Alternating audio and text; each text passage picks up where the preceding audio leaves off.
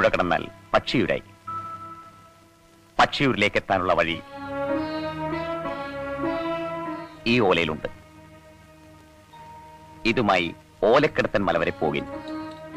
ഓലക്കിടത്തൻ മലയിലെത്തിയാൽ ഗൗരീഗാത്രൻ എന്ന പക്ഷി വരും.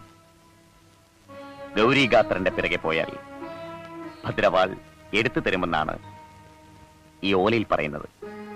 നീലാണ്ട ഞാനാടാ ശേഖരൻ. നീ ചത്തിട്ടില്ലെന്നറിഞ്ഞപ്പോഴാ എനിക്ക് സമാധാനായത്. ഇനി കളി ഞാൻ തുടങ്ങാൻ പോണേ ഉള്ളൂ. ഓരോന്ന് എണ്ണി പറഞ്ഞു ഞാൻ കുത്തും. എന്നിട്ട് ഇഞ്ചിഞ്ചായി. ഇല്ല കൊല്ലില്ല. പകുതി ചത്ത നിന്നെ കൊല്ലുന്നതിൽ എന്താ രസം? ചികിത്സ നടക്കട്ടെ ഞാൻ കാത്തിരിക്കാം. രണ്ട് കാലയിൽ എഴുന്നേറ്റ് നടക്കാറാവുമ്പോ നിന്നെ ഞാൻ എന്റെ അടുക്ക വരുത്തും. നീ എന്താടാ ഒന്നും മിണ്ടാത്തത്? മുഹബത്ത് പിരിസം. മുനീർ ആൾ കള്ളം തന്നെ. മിണ്ടാപ്പൂച്ചായി നടന്ന് സംഗതി ഒപ്പിച്ചില്ല അവൻ. ഓളൊരു അസൽ മൊഞ്ചത്തിയാന്ന് കണ്ടവരൊക്കെ പറഞ്ഞ്. ഇതുവരെ നേരെ ചൊവ്വ ഞാനൊന്നും കണ്ടിട്ടില്ല. സാരില്ല ഇഞ്ഞു കാണാലോ? മുനീറുവോളും നിന്നാലെങ്ങനെ. നല്ല ചർച്ചയാണ്.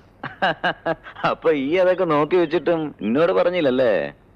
പറയണമെന്നുണ്ടേനി അന്റെ കുടിയിൽ നിൽക്കുന്ന സ്ഥിതിക്ക് എന്നായാലും ആ കുട്ടീനെ കെട്ടിച്ചയക്കേണ്ട ചുമതലയില്ല എനക്ക്. ഇമാതിരി കാര്യമൊന്നും വെച്ച് നീട്ടരുത്. സർ ഞങ്ങൾ എവിടെയെങ്കിലും പോയി ജീവിക്കാൻ അനുവദിക്കണം സർ. അഭിനയമൊന്നും വേണ്ട. സകല കള്ളത്തരങ്ങളും പഠിച്ചവനാ ഞാൻ. ഇന്നലെ വരെ ഇവിടെ നടന്ന ആക്രമണങ്ങളിലും കൊലപാതകങ്ങളിലും ഒക്കെ നിന്റെ കൈയുണ്ട്. ഒക്കെ ഞാൻ തെളിയിച്ചു തരാം. കേരള ജീപ്പിൽ. അയ്യോ സാറേ ഞങ്ങളെ സഹായിക്കണം. പറഞ്ഞതൊക്കെ സത്യ. ഈ കുഞ്ഞിനെ ഓർത്തെങ്കിലും രക്ഷിക്കണം. അതിനേക്കാൾ വലുതാടി ഈ നാടിന്റെ രക്ഷ. കേരള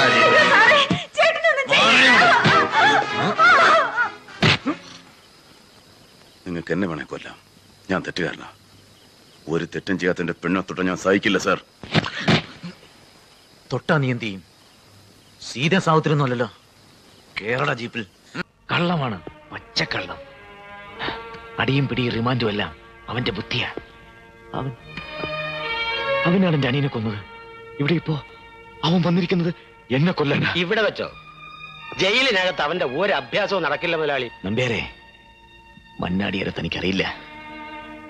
വെറുതെ അല്ല ഞാൻ അവനെ ഹാഫ് മാൻ ഹാഫ് ലയൻ എന്ന് വിളിച്ചത്. എനിക്കൊത്ത എതിരാളി. അതുകൊണ്ടാണ് ഞാൻ പറഞ്ഞത് അവനെ ഈ ജയിലിൽ നിന്ന് പുറത്താക്കണമെന്ന്. ഹലോ ഒന്നവിടെ നിന്നേ. എങ്ങോട്ടാ? ബലം പിടിക്കല്ലേ? എന്താ മോളെ നിന്റെ പേര്? ഏ? ഞാനൊന്നും ചെയ്തില്ല പക്ഷേ ഇതെന്തിനാ വേണ്ട സാറേ. നാട്ടിൽ അറിയപ്പെടുന്ന ഒരു മാഷയുടെ മോളാ. താൻ പോടാർന്നു നിന്റെ പൊന്നാങ്ങളെ എനിക്കൊന്ന് കാണണം. പല കേറ്, കേറ്. പല ഈ കാട്ടുമുക്ക് ഞാൻ എങ്ങനെയും കഴിഞ്ഞ നിനക്കെന്താ ചെയ്തം ഇവിടുത്തെ സൗകര്യങ്ങൾ വിട്ടുപോകാൻ സങ്കടം തോന്നും. ഒരു കൈയബദ്ധം പറ്റിക്കിട്ടാനാണ് ഞാനും കാത്തു നടക്കുന്നത്. എന്ത് സൗകര്യം പാല നീ നീ കണ്ടില്ലേ കഷ്ടപ്പാട്? ഇരുപത്തിയഞ്ച് കൊല്ലം അധ്വാനിച്ച് കുറച്ചൊക്കെ ഉണ്ടാക്കി വെച്ചിട്ടുള്ളത് അറിയുമ്പോ അതൊരു സൗകര്യം. അതിന് വിട്ടുപോകാൻ സങ്കടം. പിന്നെ ഒരു സൗകര്യം കൂടെ ഉണ്ടല്ലോ. ഒരു മകളും. അവർ നിന്റെ ആരാ? നിനക്കെന്ത് കാര്യം? ആരുമല്ല. പക്ഷെ അവർ തന്നെ ഒരു പിടി ചോറുണ്ടു. ആ നന്ദിയുണ്ട്. അത് നിനക്ക് മനസ്സിലാവില്ലടാ കുരുപ്പേ. പല പല. ഞാൻ പറഞ്ഞു കേക്ക്. എനിക്ക് രണ്ടേക്കർ സ്ഥലമുണ്ട്. ലയം പിതാവാണെന്നറിയോ?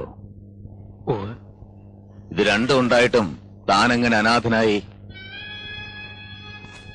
സ്വരസമ്പത്ത് ദൈവികമാ. ജന്മാന്തര പുണ്യം കൊണ്ടേ അത് സാധിക്കൂ. തനിക്കത് ദൈവം തന്നിരിക്കുന്നു. പിന്നെ എന്തിനാ താനിങ്ങനെ അലഞ്ഞു തിരിഞ്ഞ് ആയുസ് നശിപ്പിച്ചേ? തനിക്കതിന് അധികാരം തന്നത് ആര്? ആരാ തന്റെ ഗുരു? എന്താ തൊഴിലാളികളുടെ പ്രശ്നം? ആ. പ്രശ്നം തൊഴിലാളികൾക്കല്ല അവനാണ്. ഇവിടെ യൂണിയൻ ഉണ്ടാക്കാനുള്ള ഒരു ശ്രമമാണ് അവൻ പണിയെടുക്കുകയില്ല മറ്റുള്ളവരെ കൊണ്ട് പണിയെടുക്കാൻ സമ്മതിക്കത്തില്ല ഇന്നാൾ ഞാനൊന്ന് താക്കീത് ചെയ്തു. അതിന്റെ ചൊരുക്കാവനെ ശത്രുപക്ഷത്തിന് നേർക്ക് വരാത്ത ആയുധത്തിന് മുട്ടിലിഴയുന്ന കുട്ടിക്കുമില്ലേ കളിക്കോപ്പിന്റെ വില പോലുമില്ല. ഇല്ല മുമ്പ് എവിടെ വായിച്ചതാണ്? ഒരു സ്റ്റൈലങ്ങ് അടിച്ചതേ ഉള്ളൂ. ഒരു സാമ്രാജ്യം കീഴടക്കാൻ ഇത് തന്നെ ധാരാളമാണല്ലോ. ഞാൻ നേരത്തെ പറഞ്ഞല്ലോ ഒരു രാജാവിന്റെ അമൂല്യ ശേഖരമെന്ന് ഈ ആയുധങ്ങൾ നിനക്ക് എവിടെ നിന്ന് കിട്ടി? നിന്റെ കയ്യിലിരിക്കുമ്പോ ഇവ ആയുധങ്ങളല്ല കരുക്കളാണ്. ചതുരംഗ പലകയിലെ കരുക്കൾ. ആന കുതിര തേര് കാലാൾ പലകയിലെ വെള്ളക്കള്ളികളിൽ നിന്റെ വൺമാൻ ആർമി. എത്ര നേരം ഇപ്പൊ വരും ഇപ്പൊ വരും എന്ന് വെച്ച്? അതിന് അച്ഛൻ വിടണ്ടേ? കണക്കുകളും കാര്യങ്ങളും പറഞ്ഞ് നേരം പോകുമ്പോ അങ്ങേർക്ക് അറിയില്ലല്ലോ. പുന്നാരമോൾ സേതുലക്ഷ്മി ഇവിടെ ഇങ്ങനെ എന്നെയും കാത്തോണ്ട് ബോറടിച്ച് നിപ്പാണെന്ന്. അമ്മയുടെ കണ്ണുരുട്ടിച്ചാ ഇവിടെ വന്ന് നിക്കുന്നത്. എന്നാ ഒരു കാര്യം ചെയ്യാം. അച്ഛനോടും അമ്മയോടും തുറന്നു പറയാം. പിന്നെ പ്രശ്നമില്ലല്ലോ. അയ്യോ വേണ്ട. ഇപ്പൊ വേണ്ടല്ലേ? ആ എന്താ പറയാനുണ്ടെന്ന് പറഞ്ഞത്? സേറ്റ് കല്യാണ കാര്യമോ മറ്റോ ആണോ? ഇപ്പൊ നോക്കിയാലോ നോക്കിയാലും ഈ ധർമ്മേട്ടന് അതേ ചിന്തയുള്ളൂ. പിന്നെ ഞാൻ എന്ത് ചിന്തിക്കാനാ?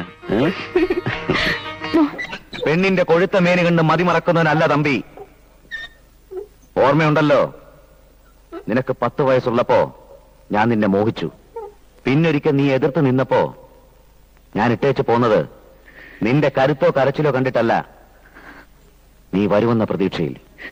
ഇപ്പോ ഈ തന്റെ അടുത്ത് നിന്നെ കട്ടിലേക്ക് വലിച്ചിടാത്തത് എന്റെ മര്യാദ കൊണ്ടാ.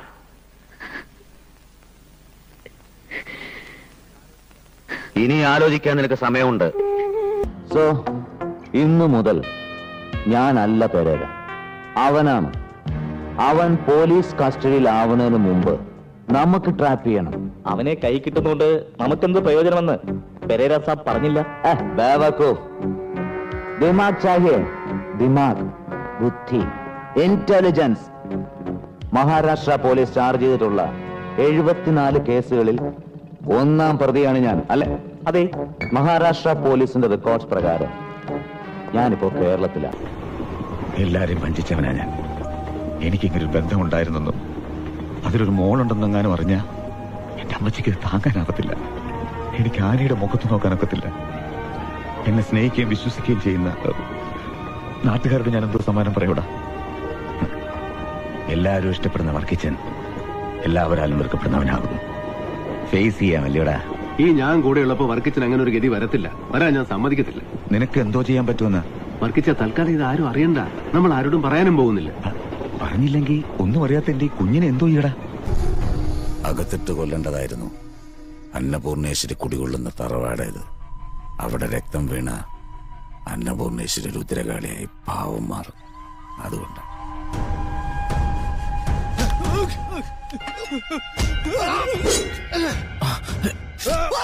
ചന്ദ്രസിംഹ ഞങ്ങൾ ഇവിടെ സംസാരിച്ച് നിൽക്കുന്നത് കണ്ടൂടെ നിനക്ക്?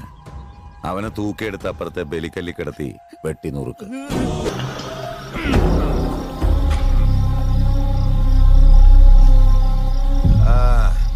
അവക്ക് പോലും ഉറപ്പുണ്ടായിരുന്നില്ല നീ തിരിച്ചു വരുമെന്ന്. പക്ഷെ എനിക്കറിയായിരുന്നു നീ വരും. നിന്റെ കൊളമ്പിനി ചോര വീഴ്ത്തും. നീ തിരിച്ചു പോകുമ്പോഴേക്കും ഈ പാട വരുമ്പത്തിന് ശവങ്ങൾ കൂടും. അത് ഈ രാവണിക്ക് ഉറപ്പുണ്ട്